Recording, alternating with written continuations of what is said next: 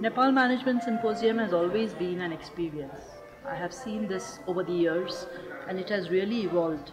Not just in the technology and the style of doing it, but it has also evolved in the kind of topics that your students can take in. So there are two aspects to this. One is managing the event itself, and the second is the takeaway from that event, if I may uh, say it this way. And the management of the event definitely has seen strides. This very video uh, recording and you know all this, and the way your students are handling the entire event is a good sign. It's a sign of growth. It's a sign of students being more and more empowered. The way the content is being handled, the kind of speakers that we are having. But now it is the content.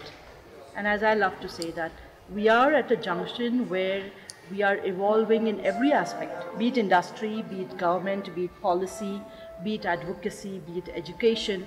And the Nepal Management Symposium becomes a kind of a prism where it is so beautifully reflected and uh, seen. So